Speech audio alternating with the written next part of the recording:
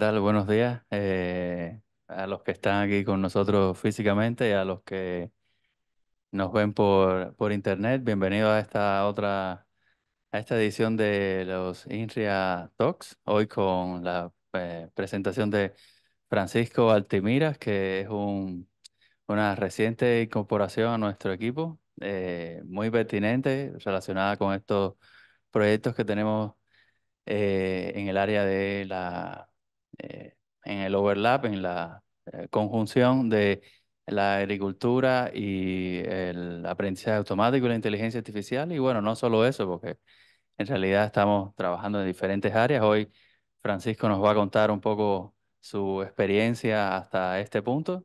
Y bueno, quería agradecer y veo que tenemos caras nuevas en, al menos en presencial, no sé online. Y quería, bueno, agradecer la presencia y, y que aprovechemos la presentación. Entonces, Francisco, eh, bienvenido a INRIA primero, que es, y todo tuyo. Muchas gracias. Eh, bueno, buenos días a todos. Eh, gracias por participar y los que pudieron venir acá de manera presencial a ver la charla. Bueno, esta es una charla que yo he dado ya hace un par de años la primera vez fue en, la Academia de Quilimo, que es una mm, startup argentina que reúne a la producción frutícola latinoamericana. Eh, y bueno, tiene una academia en donde eh, presentan innovaciones eh, mensualmente. Y también la he presentado también en, el núcleo de investigación de Data Science de la Universidad de las Américas para los alumnos ahí de pregrado y magíster. Y bueno, contándole un poco de mí, mi formación tiene que ver con biotecnología. Bueno, ahí me especialicé harto en, el uso de biología molecular y biotecnología en problemas agrícolas. Eh, principalmente los biotecnólogos tenemos dentro de nuestra área de, aplicación el área agrícola y el área, ganadera, que son súper potentes en Chile, y ahí me estuve especializando durante mi pregrado. Eh, luego hice un doctorado en sistemas complejos, en donde en definitiva aprendí harto de ciencia de datos y la aplicación de estadística, análisis de datos en, en problemas súper diversos. También me di cuenta un poco del tema que la multidisciplinaridad es súper importante para poder enfrentar los problemas y, mm, y bueno, los últimos cinco años me he estado formando en informática, he estudiado un montón y ahí me he especializado harto en aprendizaje profundo y también en visión computacional. Así que harto de lo que les voy a mostrar tiene que ver con eso. Eh, bueno, dentro de mi experiencia profesional he trabajado en diferentes tipos de organizaciones, incluyendo centros de investigación, como el que estamos hoy día acá en INRIA, también harto en la academia, ya hice un doctorado, he hecho hartas clases, participado en programas de magíster, y también harta vinculación con startups, ya que son empresas de base científico-tecnológica, empresas pequeñas que empiezan, que parten y crecen de manera acelerada. Y ahí puedo mencionar tres, una es Proton, eh, otras Instacrops y también Bikeback. Ya estas son tres startups en donde yo he participado como cofundador, advisor, eh, board member. Y, mm, y, bueno, lo muestro porque es súper importante la vinculación entre los centros de investigación y las startups. El día de ayer el presidente anunció la creación del proyecto Startup Campus, ya que tiene que ver con esto mismo, integrar la academia y la industria con las startups. Así que por eso lo menciono. Y bueno, dentro de los colaboradores he trabajado harto con eh, organizaciones internacionales y también de Chile. Ahí puedo mencionar el Laboratorio de Agricultura Digital de UC Davis, donde estuve el año pasado colaborando con ellos. Y voy a mostrar un poquito de cosas acá en la presentación. También el Laboratorio de Agricultura Digital de INIA, ya que el Instituto de Innovación Agraria chileno. Eh, y también con centros que tienen que ver con ciencia de datos, particularmente el NITS de la Universidad de las Américas y también Fraunhofer en Alemania, en donde está Héctor Allende, que es mi tutor de doctorado. Bueno, el día de hoy en la charla voy a hablar de diferentes temáticas. Voy a partir con una introducción del el uso de tecnología en la agricultura. Luego voy a hablar de eh, aplicaciones de la inteligencia artificial en la agricultura, eh, hablando de inteligencia artificial como procesos que nos ayudan a automatizar cosas dentro del campo y de alguna forma emular el conocimiento humano. Eh, y finalmente les voy a hablar de un proyecto interno que tenemos que se llama Vendime 5.0, en donde estamos trabajando con la viña Conchitoro.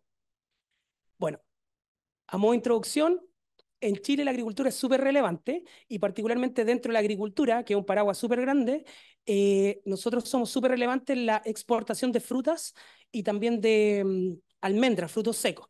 Ya como se ve acá en este gráfico, que representa las exportaciones de frutas y frutos secos eh, a lo largo del mundo, Chile está dentro de los top 5 a nivel global. Entonces, es súper relevante esta área dentro de la agricultura para Chile eh, y por eso, de alguna forma, todos los esfuerzos que podemos hacer en tecnología son súper bien, bienvenidos en Chile.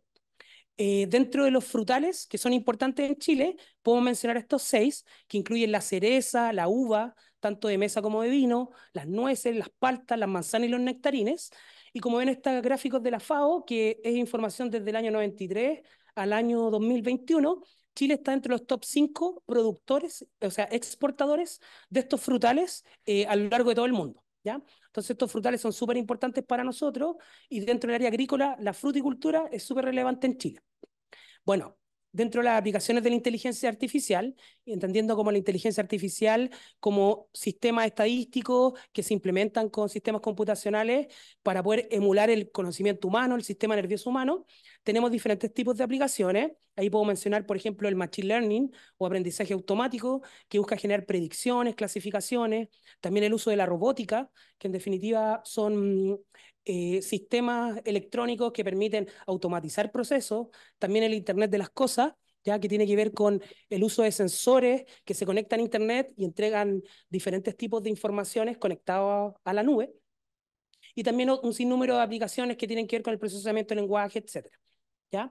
Dentro de la agricultura, ¿ya? el futuro de la inteligencia artificial es poder automatizar todos los procesos dentro del campo. ¿ya? Entonces, en esta ilustración eh, de mentira, eh, lo que intenta mencionar es que en un futuro eh, los sistemas van a estar completamente conectados.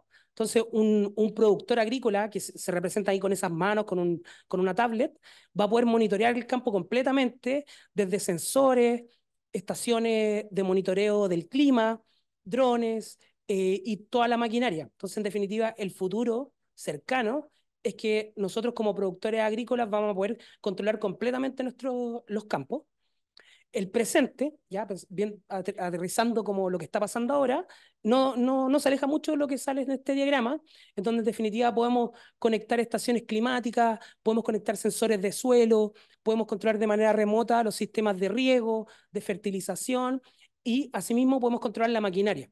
Entonces, toda la información que podemos hacer desde nuestros computadores, podemos programar estos tractores o programar la maquinaria agrícola y poder automatizar un sinnúmero de procesos. ¿ya? Este es un diagrama de John Deere, que es uno de los eh, exponentes más grandes de la maquinaria agrícola en el mundo y que actualmente en Estados Unidos tiene un tremendo centro de ciencia de datos en donde está recopilando información diariamente de todos los campos y pudiendo, pudiendo generar recomendaciones para sus usuarios.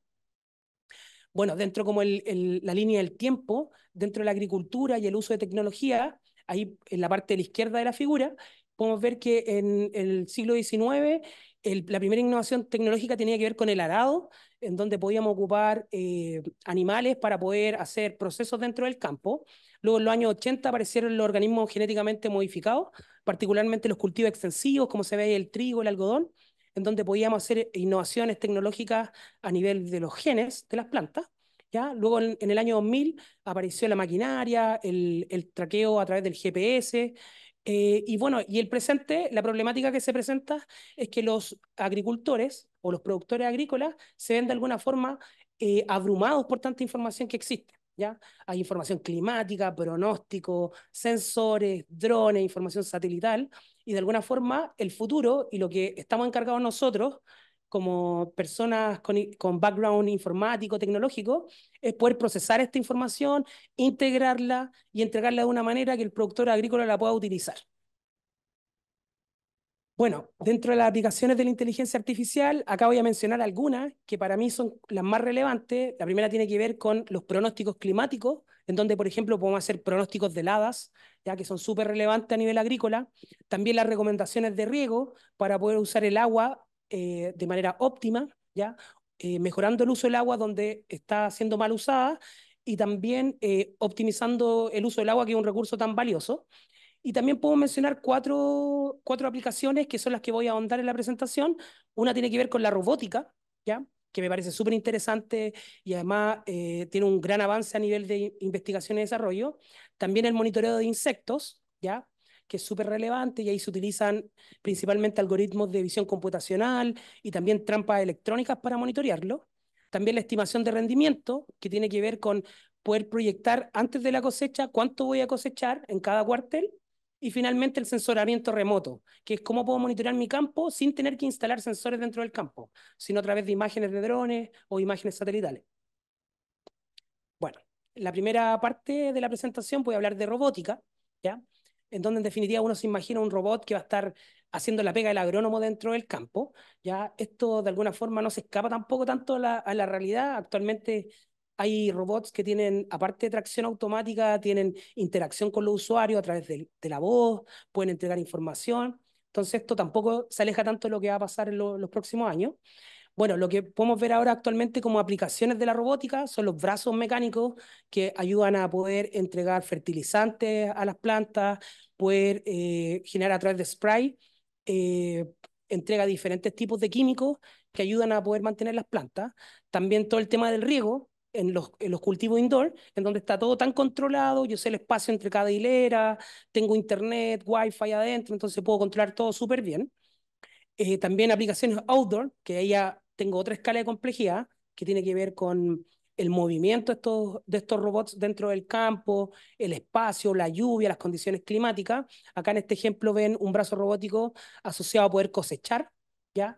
que en la actualidad no, no, son, no, son, no es algo industrial que se pueda ocupar y que sea más eficiente que un humano, pero para allá va un poco la visión y también eh, diferentes tipos de maquinarias robóticas que ayudan en los cultivos extensivos. Ya acá vemos, por ejemplo, cultivos de hortalizas, en donde yo puedo poner un, robot que pueda eh, quitar, por ejemplo, la maleza, entregar sprite a la hortaliza, y ya que la altura no, es, no son tan altas, ya puedo generar un hardware que no es excesivamente alto.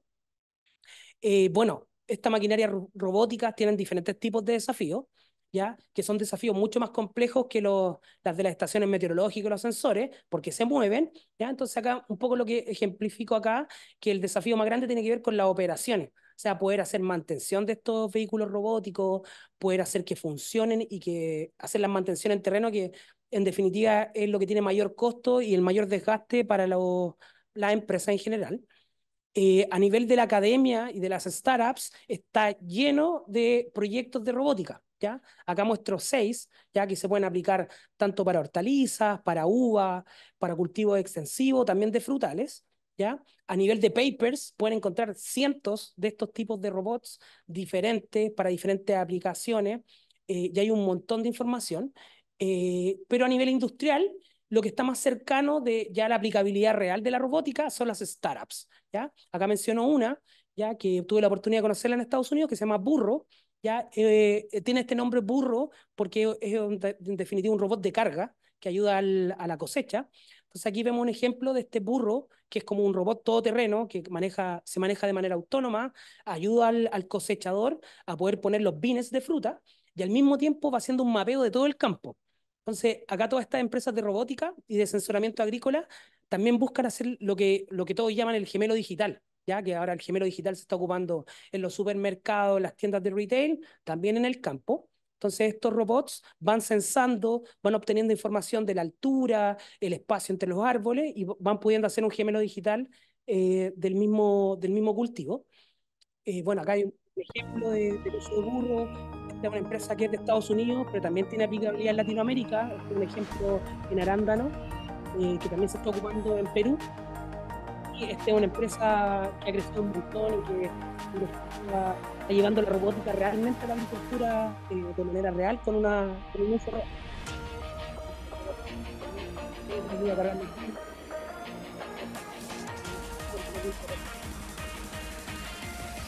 Dentro de otra aplicación está Bloomfield Robotics, que también tuve la oportunidad de conocerla, ya también está con, eh, con eh, con operaciones en Perú y también en Chile. Ya esta es una empresa que ocupa esta camarita, ya que es una cámara, una mezcla entre una cámara multiespectral y hiperespectral, que en definitiva tiene diferentes tipos de sensores y ayuda a hacer un gemelo digital también de las hileras dentro de la uva.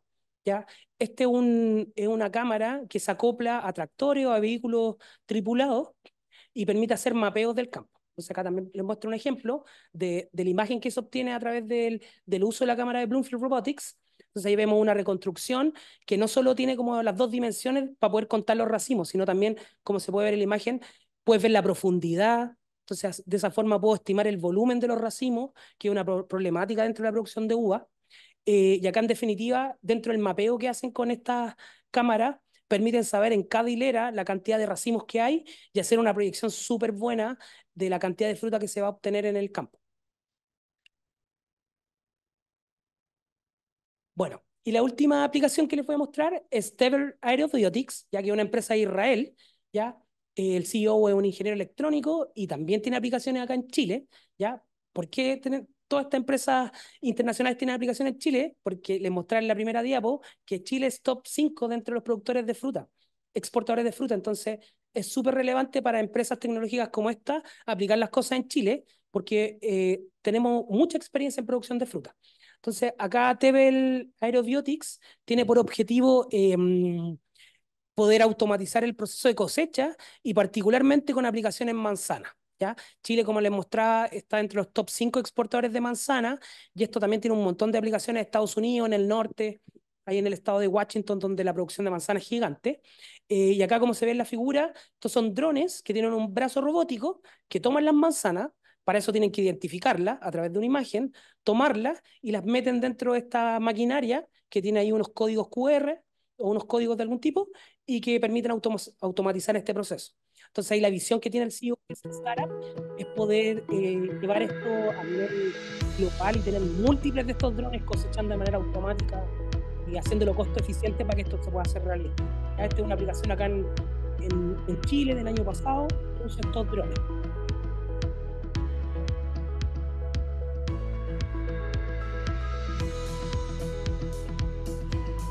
bueno, no sé qué piensan ustedes, pero yo lo encuentro increíble que en el futuro pueda costo eficiente y que se pueda aplicar a diferentes ayudar un montón con toda la problemática de poder conseguir personas para la cosecha, que es una problemática grande que tienen en el rubro.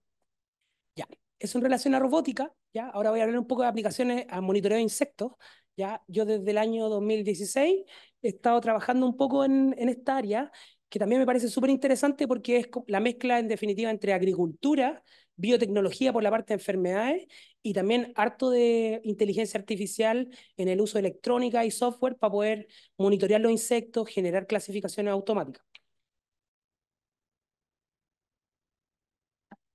Bueno, este, esto que les voy a partir contando es un proyecto que desarrollamos con el Centro de Investigación de Telefónica, ya en colaboración con el SAC también, el año 2017 y lo publicamos en esta revista que se llama Complexity. Y bueno, eh, en, en, esa época, el 2017, 2016, no, no existían los frameworks computacionales de visión computacional que hay ahora. O sea, no estaba el YOLO que todos conocemos o otros sistemas que ahora hacen la pega de visión computacional mucho más fácil. Entonces, en ese momento publicamos este paper, paper que en definitiva utilizaba clustering, particularmente el algoritmo Camins, para segmentar una imagen y a través de clasificadores, que ahí ocupamos Support Vector Machine, reconocer las, unas polillas que son súper relevantes para la industria del vino. ¿ya?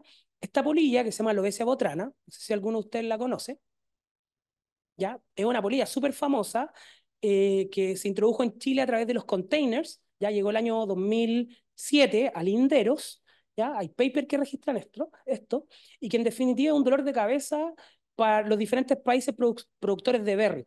¿ya? En donde eh, el insecto adulto, que se ve ahí en la imagen, en la, parte de la derecha, eh, pone sus huevos dentro de la berry, ¿ya? En la etapa fenológica en donde la uva ya tiene la fruta, ¿ya?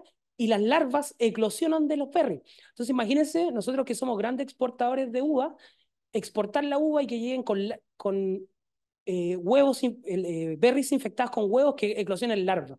Entonces, es un tremendo problema y que ha sido súper difícil de erradicar acá en Chile. Ya en Estados Unidos se logró erradicar esta, esta polilla que viene de Europa eh, y en Chile todavía no lo logramos. ¿ya? Entonces, hay grandes esfuerzos del SAC de poder controlarla. ¿ya? Entonces, ese es el marco de alguna forma de la problemática que se planteó en ese proyecto. Eh, y bueno, ahí estudiamos un poco cómo se monitorean actualmente los insectos en el campo. Hasta el día de hoy se ocupan estas trampas, ¿ya? que se llama trampas delta, ya que funcionan para polillas, en donde ven ese triangulito que se ve en la izquierda, tiene en la parte de abajo una lámina pegajosa, ya que es lo que se ve amarillo, y en el centro tiene en, hay un plástico de color gris que tiene una feromona, ya que es un químico, un odorante que atrae a los machos. Entonces, este químico atrae a los machos de la polilla de manera específica, ya las feromonas son específicas eh, o se intenta que sean específicas para un solo tipo de insecto. Entonces llegan los machos atraídos por el olor de la hembra y quedan pegados en la trampa. Entonces, una persona especialista que tiene ojo clínico para identificar el insecto, tiene que ir a la trampa, abrirla, saber qué insecto que andan buscando y poder hacer un conteo. Y llevar de manera manual un registro en cada trampa desplegada de cuántas polillas de estas se identificaron. Y acorde a esa información, se plantea como una cuarentena en donde se restringen los sectores infectados por la polilla. ¿ya? Entonces, el proyecto que nosotros intentamos desarrollar era cómo podemos ayudar al SAC para poder automatizar este proceso. Entonces ahí eh, generamos todo un proyecto en donde desplegábamos entre la quinta y la séptima región 50 trampas, como se ve en el mapa de la izquierda, desde Quillota hasta Talca, San Clemente, y ahí todas estas imágenes que se ven acá a la derecha, que son unos cartones que tienen la lámina pegajosa, eh, tomábamos imágenes y entrenábamos un modelo para poder identificar de manera automática la polilla. Eh, bueno, acá hay como ejemplos reales de, la, de, la, de las trampas. Uno espera que las feromonas sean específicas, pero como se ven en las imágenes, se pegan mosca, avispa, abeja, mosquito, etcétera. Entonces ahí también hay todo un trabajo de, de buen etiquetado de las imágenes y de, y de, mm, eh, de, de, poder preprocesar las imágenes para poder hacer un buen modelo. Eh, bueno, a nivel informático, este es un poco el flujo de trabajo en donde se hacen filtros de las imágenes, se ecualizan, se ocupa el algoritmo Camins, que es como el algoritmo más ocupado de clustering, para poder hacer una segmentación de la imagen. Eh, y luego se clasifican las imágenes a través de un clasificador SVM, Support Vector Machine, y esto es un poquito el resultado. A la izquierda, por ejemplo, es un Camins que tiene un K de 100, ¿ya? Entonces, en definitiva, no, puede no cubre bien el tamaño de las polillas, que es lo que se ve en oscuro, y en el, en el de la derecha, un Camins ya con un número de clúster optimizado para poder identificar específicamente la polilla.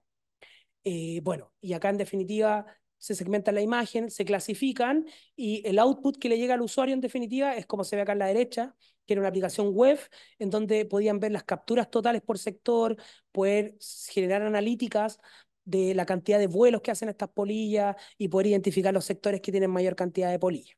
¿ya? Ese era un poquito el foco del paper que se publicó hace hartos años atrás. Y, y, bueno, dentro, dentro también de las problemáticas que se plantearon las proyecciones del proyecto eran no solo ocupar las trampas y algoritmos para poder tomarle una foto a la trampa, sino en definitiva, si yo hago eso, igual tengo que mandar a una persona a cada trampa a tomarle una foto, que también necesita camioneta, necesita ir para allá, combustible, etc. Entonces, hay hartos proyectos que buscan automatizar completamente el proceso y tener trampas cámaras, como se ve en la imagen en la parte de abajo. ¿Ya? Las trampas cámara es un, una trampa electrónica que tiene una cámara y tiene un sistema IoT que se conecta a la nube y puede transmitir imágenes de manera constante. ¿ya? Entonces, el paper llegó hasta la proyección de esto, pero en la práctica existen empresas que están desarrollando esto. ¿ya? Les muestro primero a la derecha Metos, ya que es una empresa austriaca que viene de Pessel Instruments, que es una empresa súper antigua de generación de, de hardware y sensores, que tiene estas trampas cámaras súper tecnológicas como se ven ahí, con panel solar, telemetría, eh, odorantes para diferentes tipos de insectos. Y en la parte de la izquierda se ve una empresa chilena, startup, que se llama Neltume, que trabaja hace un montón de años, yo creo que del 2015, desarrollando sistemas de monitoreo de insectos. ¿ya? Bueno, también hay, uy, hay aplicaciones para diferentes tipos de insectos. Acá les muestro dos. Uno que es una larva que se aloja en las raíces de los árboles, pero también se pueden identificar a través de estas trampas. Y acá otro que se llama gusano cogollero, que afecta principalmente el algodón. ¿ya? Bueno, aparte de monitorear con estas trampas, también hay empresas como esta, que es Semios, que es de Canadá, que intenta llevarlo un poquito más allá y cómo podemos ayudar con el monitoreo a disminuir el uso de insecticidas dentro del campo. ¿ya? Entonces, este, este proyecto es súper bueno, en donde ocupan las trampas cámaras que se ven a la izquierda de color rojo, ya que tienen una cámara, un sistema para poder enviar la información, y eso lo conectan a eh, dispensadores de feromonas. Entonces, en definitiva, yo en vez de atacarlas con insecticidas eh, en los diferentes sectores, ocupo odorantes para poder hacer este mating disruption, que en definitiva es la disrupción de la cópula de los insectos y poder confundir a los insectos. Entonces aquí están ocupando químicos, feromonas, para disminuir el uso de, insecticidas dentro del campo y hacer la agricultura mucho más sustentable y eficiente. Bueno, otro proyecto que les puedo contar de monitoreo de insectos es de AirSace, ya que es una empresa chilena, eh, también startup, ya que yo he colaborado harto con ellos, son harto ingenieros en biotecnología, que han estado trabajando harto años en esto, y acá lo que buscan en definitiva es generar sistemas para ayudar a la polinización. ¿ya? La polinización es súper relevante, las abejas son súper relevantes, eh, y optimizar el, cultivo de las abejas dentro de los campos eh, es de gran interés para poder optimizar eh, la fertilización dentro del campo y también la producción. Entonces, como ven acá, eh, esta empresa, el primer proyecto que tenía son sistemas para poder monitorear dentro de las colmenas. ¿ya? Entonces, lo que se ve ahí como en cada colmena como una cajita blanca, ¿ya? es una cajita que impide el paso, la entrada de la colmena. Entonces, las abejas solo pueden pasar por, esta, por estos hardware que están acá. Entonces, esto está todo cerrado, que acá es como normalmente las colmenas ingresan las abejas. Entonces, la abeja entra por acá y acá tiene un sistema de visión computacional que ayuda a contar la abeja. Entonces, ¿para qué sirve eso? Sirve para, cuando están en la etapa de floración los frutales, poder identificar qué sectores tengo baja población de abejas y así poder llevar las colmenas a los sectores donde se necesita.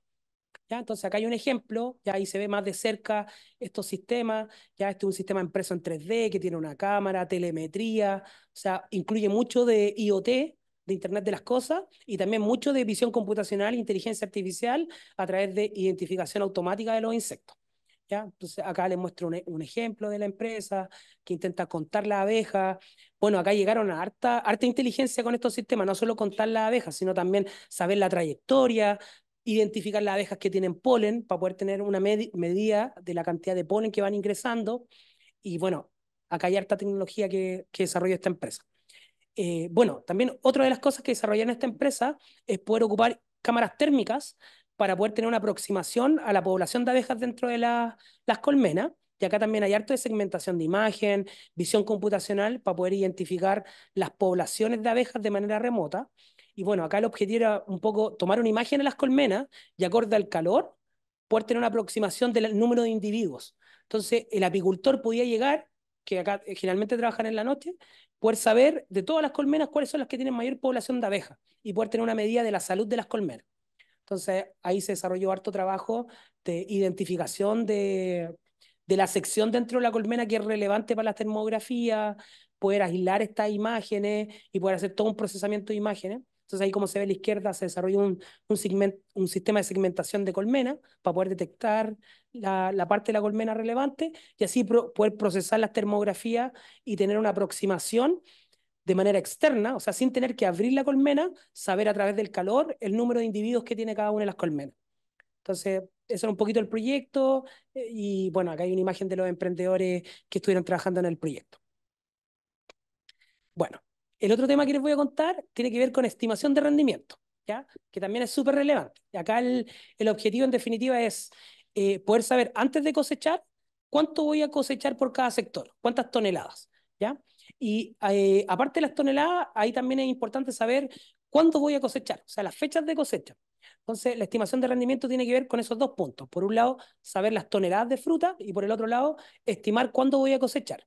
¿Para qué sirve esto? Sirve para poder proyectar eh, la cantidad de personas que se van a requerir, la cantidad de recursos, imagínense la cantidad de cajas, cuándo voy a requerir lo, los equipos de personas que van a cosechar en cada sector del campo, eh, por si ustedes no lo saben, eh, el personal es súper relevante en el campo. Si ustedes van a conversar con los productores, tienen que hacer tremendos esfuerzos para buscar personas a otras comunas. Entonces hay todo un problema de recursos humanos dentro de la agricultura y es súper relevante poder proyectarse antes de la cosecha qué es lo que va a pasar.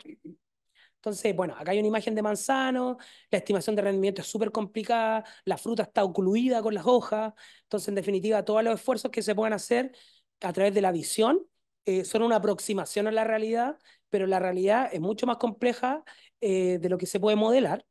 Eh, bueno, los árboles tienen diferentes distribuciones de subramas, acá hay imágenes de manzanos que son súper visibles, pero en la realidad, imagínense un naranjo que tiene 3 metros de diámetro y que tiene un 80% de su fruta dentro, que no se puede ver desde afuera.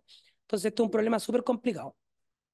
Y bueno, existen diferentes aproximaciones en terreno que sirven para poder estimar el rendimiento, pero en definitiva yo veo que las metodologías que van a ganar en el futuro tienen que ver con la integración de imágenes satelitales, imágenes de drones, imágenes de celulares y un sinnúmero de fuentes de información para poder estimar bien.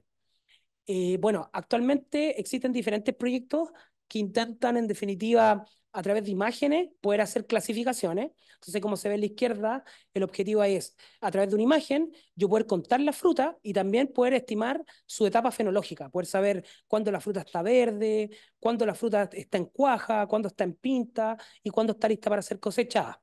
¿ya? A nivel de, de tecnología, de informática, ahora está lleno de frameworks computacionales para poder hacer visión computacional. Ya, este es un ejemplo de YOLO, ¿ya? You, look, you Only Look Once, ¿ya? que es un algoritmo súper mega ocupado y que se ocupa para poder contar autos, contar personas, identificar personas y un sinnúmero de problemáticas de detección de objetos y de visión computacional. Y bueno, hay un sinnúmero de aplicaciones ocupando YOLO u otros algoritmos que actualmente se consideran como en el state of the art de esta tecnología, entonces aquí podemos ver, por ejemplo, algoritmos que ayudan a detectar las ramas dentro de las parras, detectar los, los troncos y también las yemas, ya que son lo, lo que se ve ahí etiquetado como nodos. Eh, también identificación de, de berries, ya frambuesa, poder identificar, hacer conteo, poder identificar las que están en, en, buen estado, las que están en mal estado, cuáles tienen cierta coloración, como se ve ahí arriba, perfect pink, ya, o light pink. Entonces puede identificar parámetros que se pueden ver a través de imágenes y, de alguna forma replicando lo que podría ser una persona experta mirando el cultivo. También hay aplicaciones indoor para la exportadora. Por ejemplo, imagínense esa línea que se ve ahí abajo, que en yo los ocupa para contar autos en la autopista, poder aplicarla a los limones y yo poder saber en una, en una cinta la cantidad de limones que van pasando y tener un conteo por minuto en tiempo real de la cantidad de fruta que voy empacando dentro de mi exportadora. Eh, y a nivel ya de uso con personas, de usabilidad, hay un sinnúmero de apps que se pueden ocupar. Acá les menciono una que se llama PixoFarm, que implementa estos algoritmos de visión computacional y lo lleva al usuario de manera fácil. O sea, acá es una aplicación que tú te puedes descargar, toma una imagen y un video, y como se ve en la parte de la derecha, puedes saber el promedio de frutas por árbol y saber el total de fruta que obtiene en una hilera, sabiendo la cantidad de árboles. ¿ya? También acá hay otra aplicación que busca un poco no solo verlo desde el punto de vista de la fruta cuando está lista, sino también ver parámetros que tienen que ver con la yema, ya con las flores, la cuaja de las flores, que es el paso entre flor y fruto, ya y poder tener diferentes medidas de la fenología de las plantas, que tiene que ver con el desarrollo de las plantas. Bueno, acá hay otra aplicación que se llama InstaYield, que es de la startup InstaCrops, que en definitiva busca a través de imágenes poder contar la fruta como se ve ahí, la cantidad de fruta detectada y poder tener una estimación de rendimiento a través del uso del celular. Y finalmente le muestro Sarvio, ¿ya? que es de BASF, que es una empresa internacional súper grande y que no solo intenta contar fruta, sino sacar un sinnúmero de otras características de los frutales, como identificación de maleza, reconocimiento de enfermedades, daño en la hoja, estatus de nitrógeno, análisis de emergencia que tiene que ver con la aparición de, de malezas. Bueno, y el último tema que voy a hablar a nivel de inteligencia artificial tiene que ver con sensoramiento remoto, ¿ya? Que es de qué forma puedo eh, monitorear el campo sin tener que instalar sensores dentro del campo, ¿ya? Por la problemática que les planteé al principio, que eh, instalar sensores es caro, el hardware es caro, hay que mantenerlo, hay que hacer mantenimiento preventivo, hay que cambiar los sensores, hay que tener telemetría. Entonces, si bien los sensores son súper buenos para poder monitorear bien los campos, requieren mucho costo, o sea, mucho personal. Entonces, se busca que a través de la agricultura digital podamos ocupar drones que tienen una, un, pueden tener un monitoreo a grandes extensiones de campo y también imágenes satelitales. Entonces, en, esta, en este paper, que es un review de agricultura digital, eh, se muestra en la parte de arriba ¿ya? que yo puedo monitorear el, el, campo con imagen satelital y puedo tener diferentes métricas de la fenología de las plantas. Puedo saber cuándo parte una temporada, cuándo termina, cuánto dura. Y también sacar indicadores a gran escala, ¿ya? Después cuando me voy a una, una escala más regional, más baja, puedo ocupar los drones o los Humane Aerial Vehicles, ya que son drones, avionetas o otros vehículos no tripulados aéreos, en donde yo puedo acoplar sensores y puedo saber, por ejemplo, aparte de lo, lo, que sé con imágenes satelitales, puedo saber cuándo aparecen las flores, puedo saber cuántas fruta tiene, cuándo viene la senescencia, o otros parámetros de manera mucho más, con una resolución mucho mayor. Y finalmente tengo la escala individual, en donde hay una persona, un agrónomo, un experto o una cámara fija que puede tomar imágenes y yo puedo ir monitoreando toda la fenología de las plantas. ¿ya? Eh, bueno, los satélites y los drones tienen diferentes escalas, entonces depende un poco las extensiones de los cultivos, cuál voy a utilizar. Ya como se ve en la izquierda, el satélite puedo tener, por ejemplo, un píxel de 30 metros, ¿ya? Entonces, si tengo un cultivo de 100 hectáreas, de 500 hectáreas, la imagen satelital va a tener una resolución suficiente para poder generar indicadores vegetativos, como se ve ahí en la izquierda, en donde yo puedo saber en, en rojo sectores que tienen bajo vigor y en verde sectores que tienen alto vigor. Y también la escala de los drones, que es mucho mayor, ya, ya yo puedo tener resolución de centímetros y puedo tener un, un rango de visión mucho más cercano. Bueno, acá hay una, una diferencia también dentro de las imágenes satelitales. Tengo imágenes de, que tienen una resolución menor, pero tengo mucha mayor cantidad de datos y otras que tienen resolución mayor, pero tengo menor frecuencia de la adquisición de esa información. Eh, bueno, dentro de las aplicaciones del remote sensing en la agricultura, una de las más ocupadas, y yo creo que es la más transversal de todas para todos los cultivos agrícolas, es la, es la generación del NDVI, ya que es un índice vegetativo que me ayuda a ver de manera gráfica sectores de bajo vigor y de alto vigor, en donde en rojo está un sector de bajo vigor y en verde sector de alto vigor. Ya este es un indicador que tiene una escala de menos 1 a 1, como se ve acá en la parte inferior derecha, en donde cuando estoy cercano a menos 1 y 0, tengo una planta inanimada o suelo inerte, ¿ya? Cuando estoy entre 0 y 0.33, ya tengo una planta que está enferma, ya que se ve ahí como café. Después, entre 0.33 y 0.66, tengo una planta moderadamente saludable y arriba de 0.66, una planta saludable. Entonces yo tengo un indicador acá eh, que de manera visual me permite ver en grandes extensiones de cultivo eh, sectores de alto vigor y bajo vigor y lo puedo aplicar tanto para imagen satelital como imagen de dron. Y bueno, ya yendo a la escala más de precisión, ocupando drones, ya hay diferentes tipos de aplicaciones. Ya esta es una imagen de un paper que muestra aplicaciones de los Humanitarian Vehicles, ya que son estos drones o avionetas, eh, para diferentes aplicaciones agrícolas. ¿ya? Por ejemplo, en la parte superior derecha, para poder entregar Sprite, ya yo puedo entregar nutrientes, insecticidas o químicos en las plantas ocupando drones. Ya puedo también ayudar al harvesting, ya que el ejemplo que le mostré al principio de Tebel, que podía ayudar a cosechar manzana. También hacer monitoreo, que es la parte inferior izquierda, en donde puedo generar el NDVI. Y también sensoramiento con imágenes RGB para poder contar las plantas, estimar el volumen, etcétera. Entonces, bueno, acá hay un, un ejemplo de, de, cómo los drones ahora están capacitados para poder entregar Sprite, poder hacer riego, entregar nutrientes. Ya, acá hay un, un video.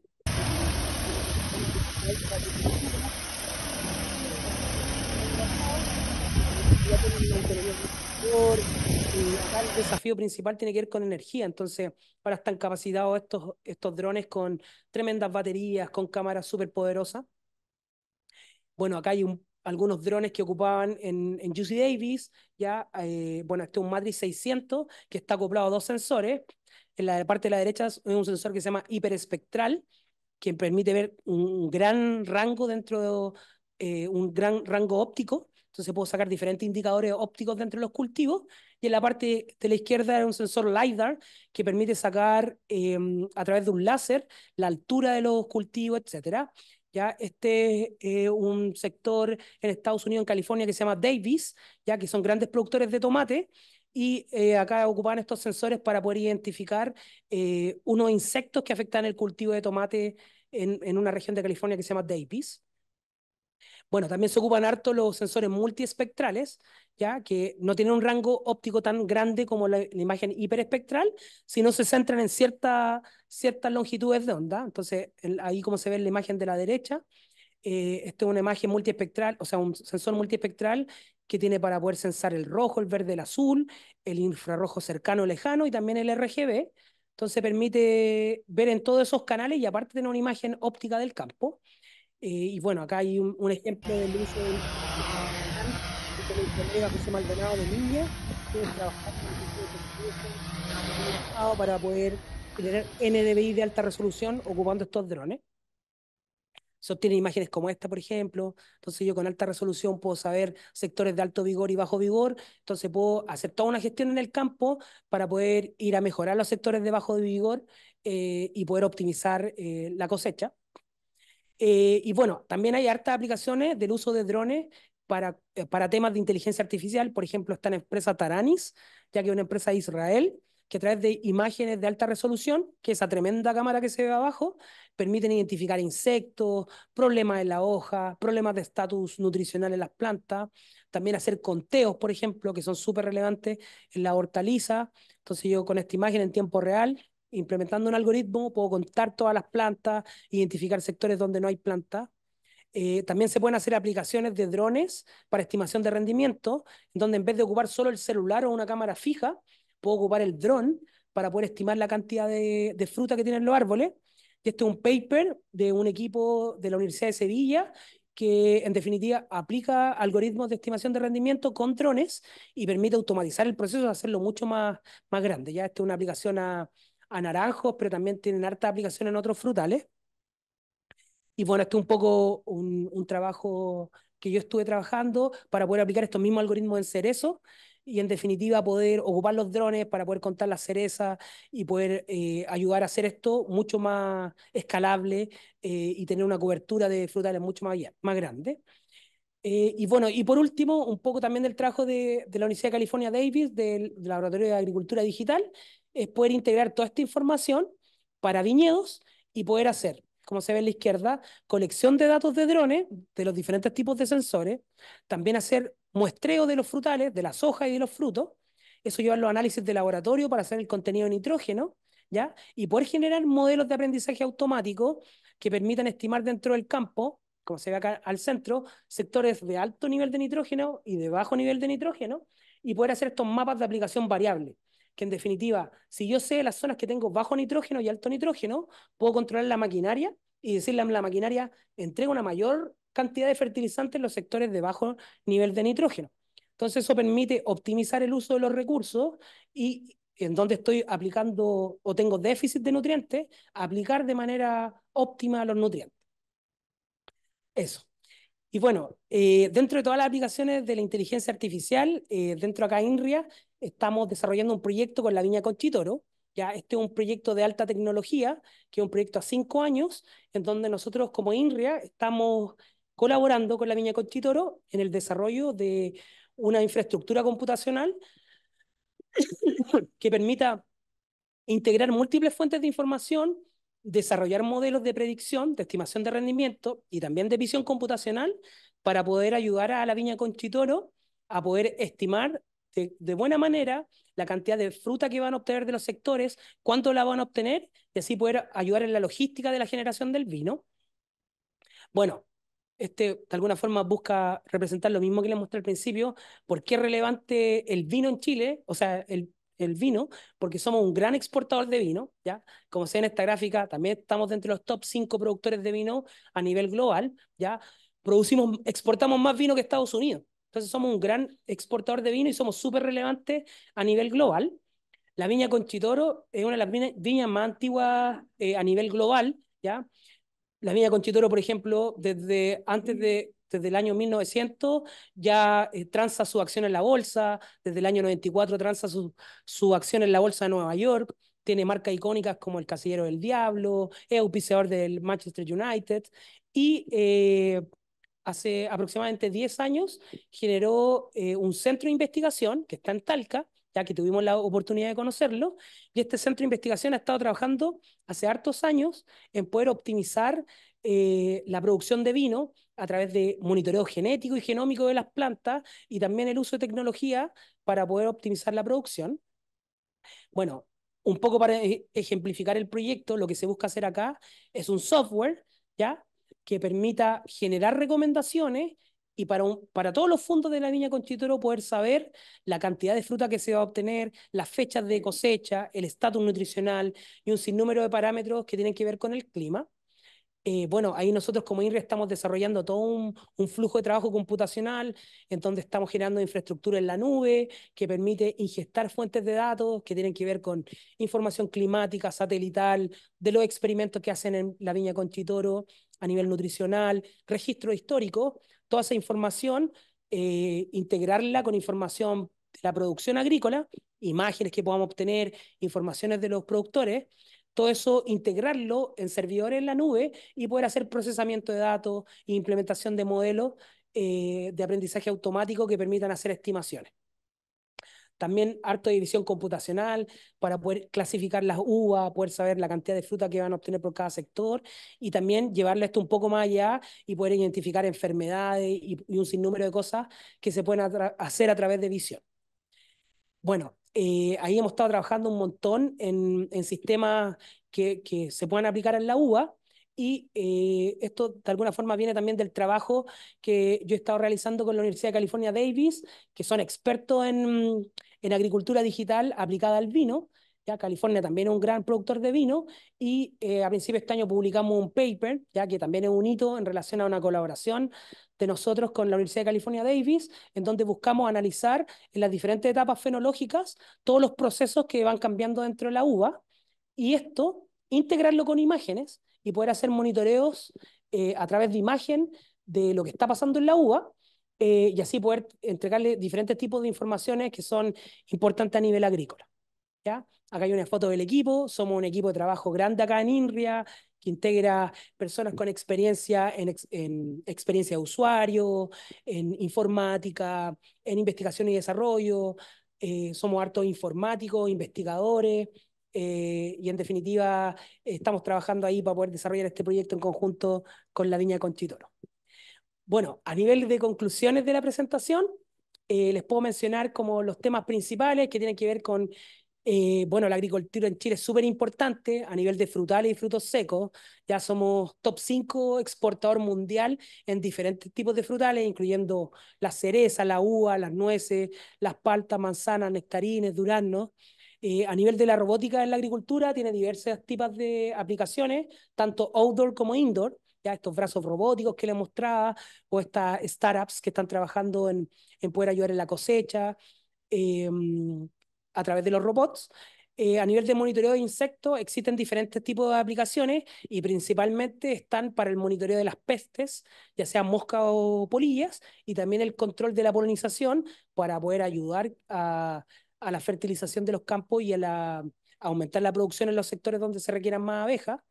Eh, a nivel de la estimación de rendimiento y conteo de frutos, existen múltiples sistemas aplicados a múltiples tipos de frutales y existen diferentes apps que nos podemos descargar para poder hacer este tipo de análisis. Y a nivel de ensensoramiento remoto, el uso de imagen satelital y de drones es lo que principalmente se utiliza y ayuda en definitiva a la problemática del mantenimiento del hardware en terreno para poder ocupar imágenes para poder monitorear los campos. Bueno, eso en definitiva era la presentación. Eh, gracias a todos por participar y cualquier pregunta, eh, bienvenida.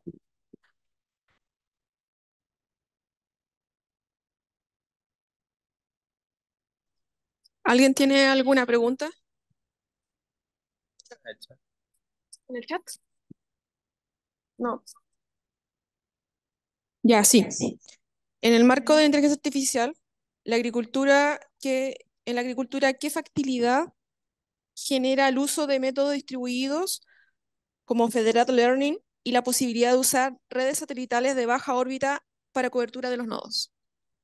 Eh, bueno, no, no sé si particular, no sé si podría responder esa pregunta. Eh, y particularmente la técnica que mencionaba no la conozco, entonces no, no, no sé cómo responder esa pregunta.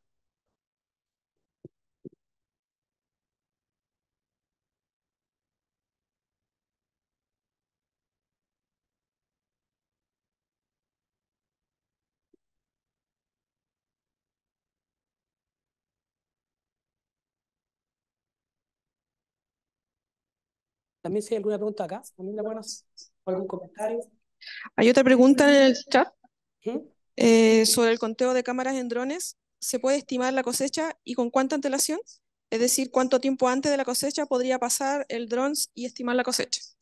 Eh, bueno, ahí depende del tipo de frutal. Hay frutales que tienen una ventana del tiempo mucho más grande que otra. Por ejemplo, el caso del cerezo, entre que se genera la cuaja, que es el paso entre flor a fruto, eh, la ventana de tiempo es menor a dos meses. Entonces, la mayor antelación es cuando se genera la cuaja, pero ahí la problemática es que depende de la resolución de la cámara, porque la cereza es chiquitita, ya puede llegar a, no sé, 30 eh, milímetros, entonces depende mucho de la resolución de las cámaras y la cercanía de la imagen, eh, si puedo contar o no la fruta.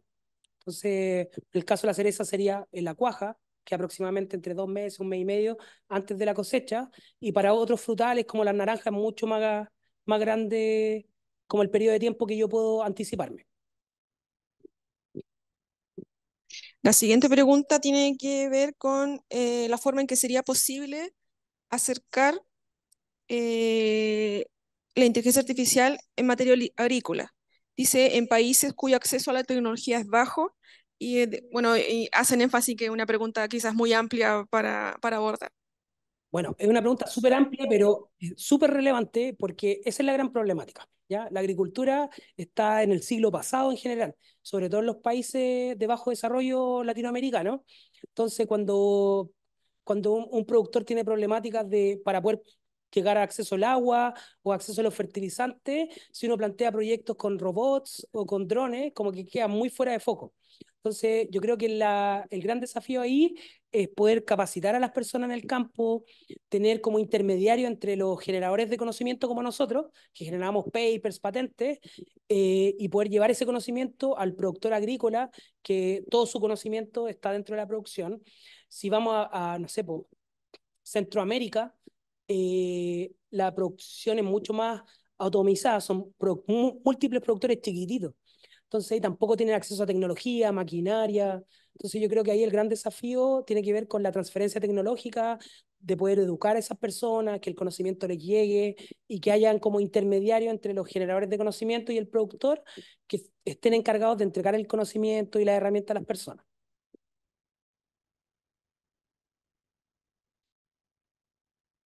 Eh, acá, ¿alguien tiene alguna consulta o algún aporte que realizar a la presentación de Francisco?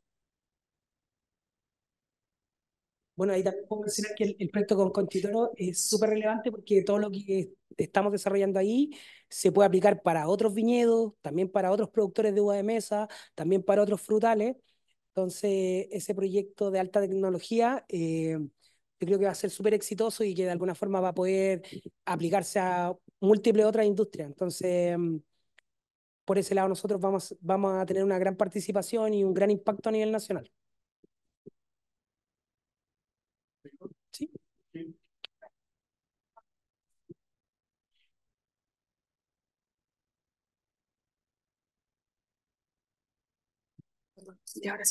Eh,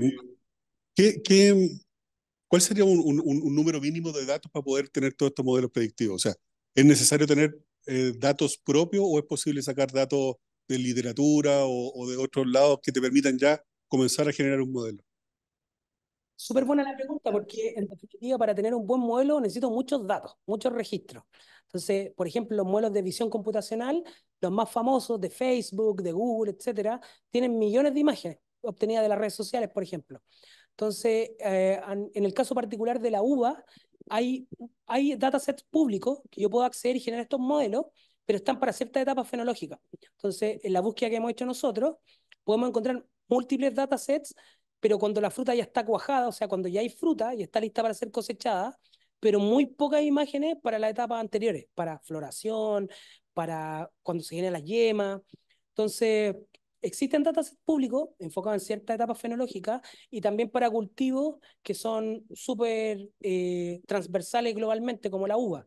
Pero, por ejemplo, si queremos trabajar con un frutal eh, de acá, por ejemplo, el maqui o, no sé, otros frutales que son propios de cada localidad, ahí la pega es poder generar estas bases de datos con un número grande de imágenes. En nuestra experiencia, con un número de cientos de imágenes ya puedo obtener un modelo, Pero ahí el objetivo es tener miles de imágenes para cada clase que se quiera reconocer para poder tener un buen modelo.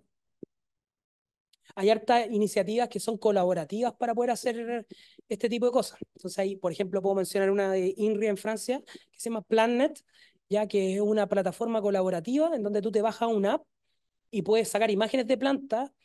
El software te ayuda a hacer la clasificación de la planta por si tú no sabes el nombre y al mismo tiempo genera una gran base de datos que va recopilando imágenes y esas imágenes se ponen a disposición de la, de la comunidad científica. Entonces yo creo que por el lado colaborativo van a ser como los grandes modelos que se van a utilizar en el futuro.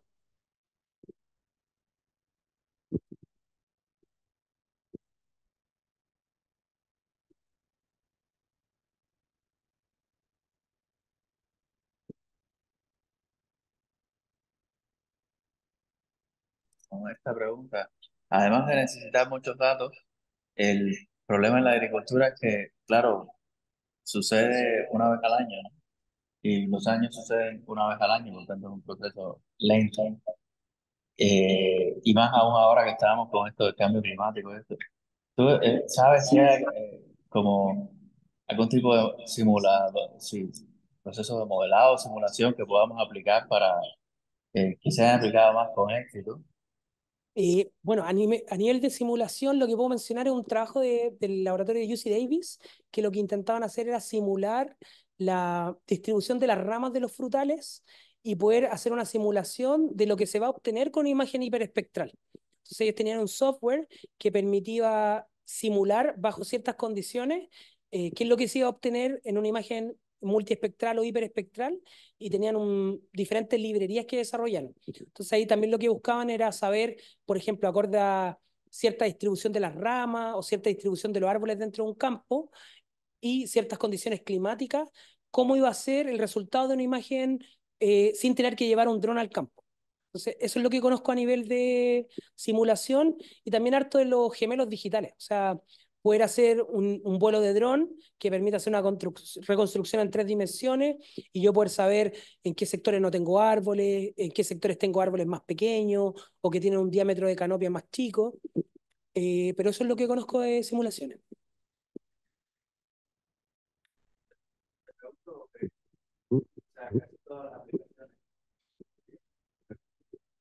esta característica descriptiva del momento actual ejemplo, yo vuelvo y saco el pero claro, entiendo que el máximo valor llega capaz de predecir, la, poder adelantar, sobre todo ahora que con esta cosa del cambio climático y esto, que mucho conocimiento que digamos que es ancestral, por decirlo de alguna forma, de aquí llueve mucho, aquí no, industrias completas, estructuras completas dedicadas a, un, a, agricultura y clima está cambiando.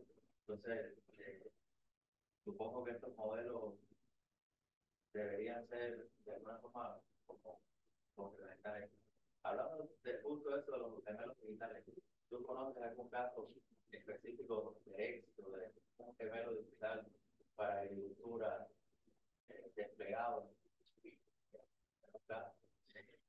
la verdad que no, o sea, lo he visto a nivel como de investigación en universidades, en centros de investigación, pero no como una empresa que trabaje en eso. O sea, a nivel de gemelo digital conozco más aplicaciones en retail que buscan ver como este tema del stock in, stock out dentro de las góndolas, identificar como dónde me falta producto, pero a nivel como de, de frutal no, solo como investigativo nomás. Sí.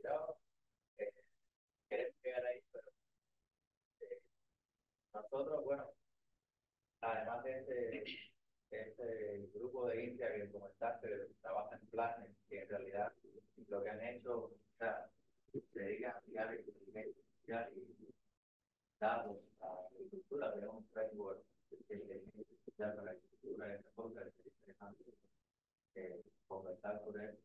Eh, tenemos este otro, otro tipo de India, que ha hecho un simulador, o sea, no ha hecho, ha aportado un simulador de cultivo a, a una forma que es relativamente fácil para hacer machine learning.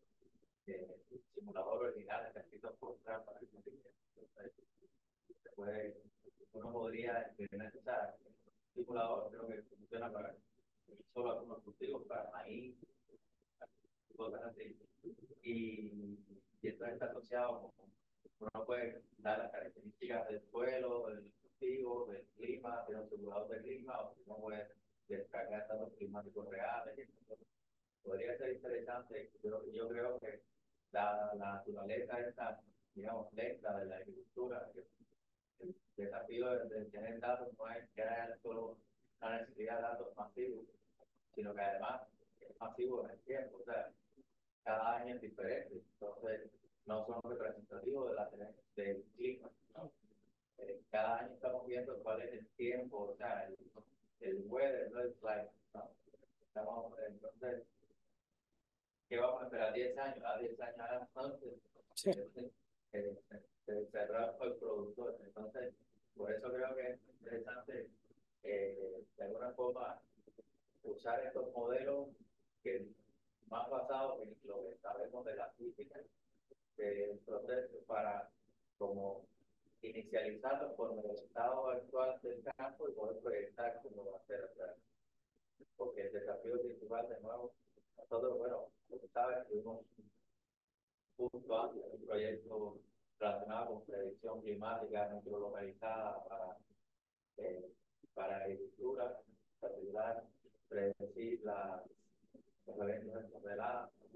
y uno de los problemas que se damos cuenta es que, claro, nunca íbamos a tener datos suficientes en el, en el marco, por eso me parecía que Sí, no, estoy súper de acuerdo, súper interesante y súper necesario poder tener sistemas de simulación para poder tener datos y es un gran problema la estacionalidad en la agricultura y bueno, por eso también creo que las colaboraciones con, con la gente de Estados Unidos, de Europa, es súper relevante para nosotros porque podemos trabajar en dos temporadas en el año, no solo en una. Entonces también esa es una oportunidad que, que veíamos con el grupo de, de, California, de poder trabajar en una temporada allá, otra temporada acá, y poder ir avanzando en la generación de tecnología eh, en dos partes, en definitiva. Bueno, eso, muchas gracias a todos por participar y bueno, eh. ¿Sí? Primero que todo, gracias por. Un punto más practicado. Dijiste en todas estas diferentes áreas por la pregunta en tu experiencia personal, ¿cuáles de estas áreas presentan mayor interés? o cuál tiene un grado de penetración más alto, por eso la dificultad de poder empezar a dificultad.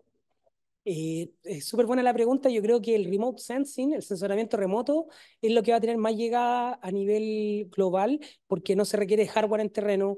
No, no tengo que comprarme un, una estación climática que puede costar entre mil y tres mil dólares, que tengo que hacer mantenciones, que se echan a perder, los datos y todo el tema. Entonces, el sensoramiento remoto va a permitir que a través de imágenes que se pueden obtener de una constelación satelital, yo pueda tener indicadores de mi campo sin tener que poner hardware y con una visualización que es súper fácil de interpretar.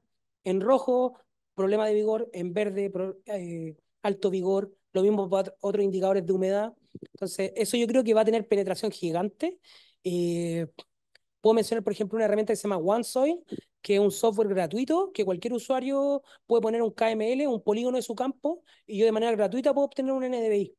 Entonces, yo creo que eso va a tener un montón de mm, penetración. También lo, los pronósticos climáticos.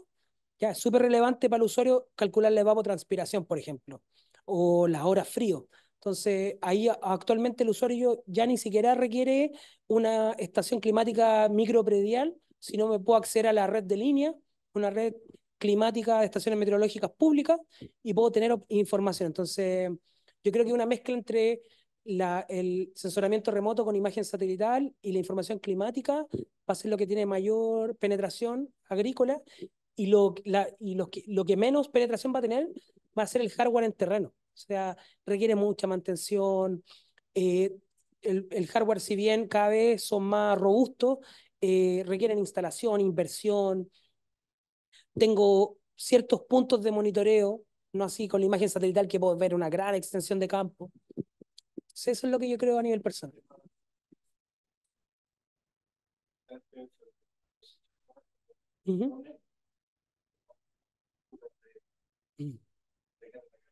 Sí.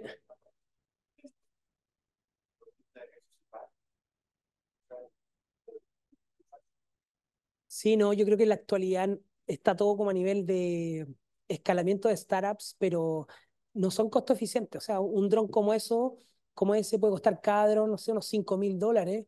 Entonces, para una startup no va a poder vender el hardware, va a tener que hacer un modelo de eh, software como servicio, hardware como servicio.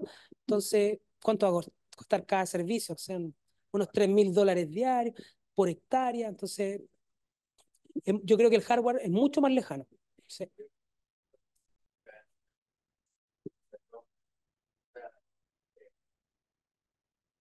nosotros pasábamos todo el tiempo la batería. no se trajeran unos postes, no te moví, con el velero autónomo, como creéis que navegue, el, el, la robótica tiene este componente que está en la realidad. ¿no? Por otro lado, yo creo que eh,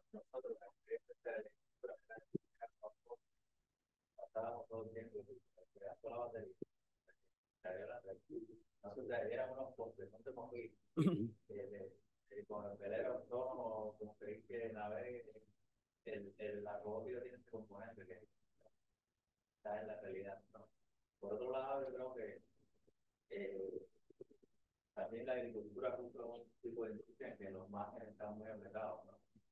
Entonces, es decir, ver el beneficio de una inversión a priori tan grande, puede ser que, no sé, unos cultivos de estos masivos, ¿verdad? Que se robota los mejores carros, puede cosechar 24 horas al día, que, sé, bueno, uno puede ver otro tipo de márgenes, ¿no? Pero bueno, es como cualquier, como otra máquina, yo creo que en algún momento será otra máquina. Y hay procesadoras, cuesta cara, y para el trigo tienen esta, de hecho yo Derek que tiene procesadores de trigo autónomos, pero tienen personas adentro. Sí. Sí, no, sí. Como todo, ¿sabes? No es fácil, pues es hacerlo, encontrar el caso que sea rentable. Por igual, la mano de obra es complicada, como puede ser Estados Unidos, pero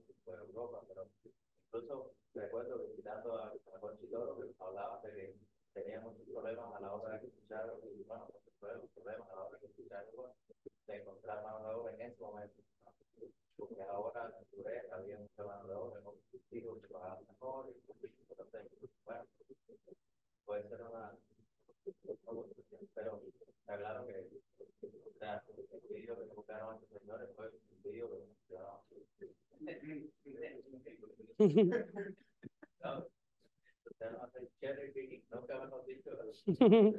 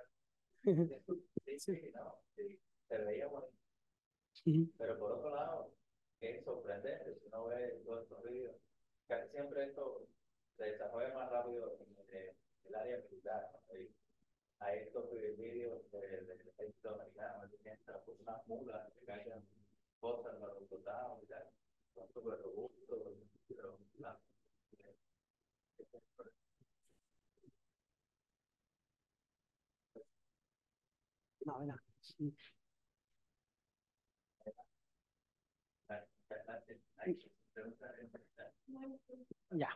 Vale, muchas gracias.